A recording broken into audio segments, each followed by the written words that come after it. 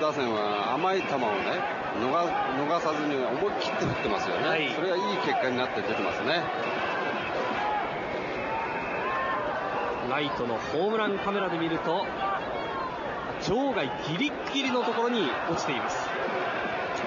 あれより少し遠くまで飛べばその外にあるバスまで届こうかという一撃でした。原の打球のレフトへ。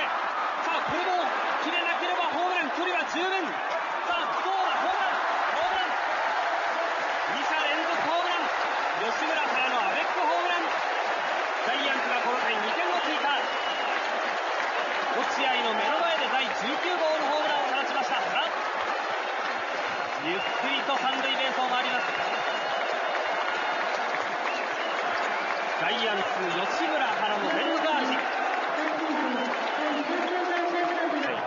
もうストレートもう狙ってるわけなんですね。そこへちょうどこうまっすぐが来たっていうそういう感じだったですね。何か原はゴルフのスイングをした後のようにボールをじーっと見つめていました。レフトポール際に飛び込んでジャイアンツ。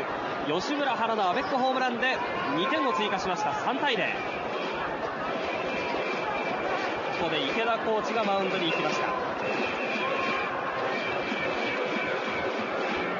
ブルペンは江本と鹿島2人が投球練習を続けています。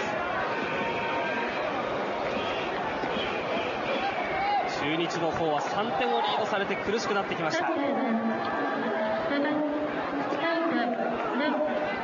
は日曜日の広島戦に続く第19号ホームラン。吉村の方は今のホームランで3試合連続のホームランとなりました。そしてロメイ西村、原、そしてこのロ、クリーンナップ3連発というのが期待されるところです。まず1球目、高めに走れました。ワンボールナッシング。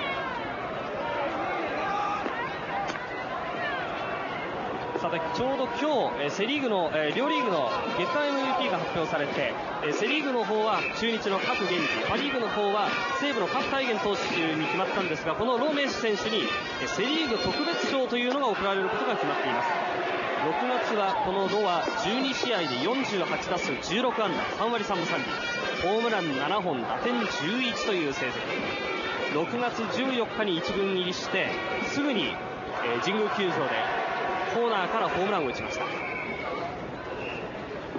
これは第1打席のレフトフライ。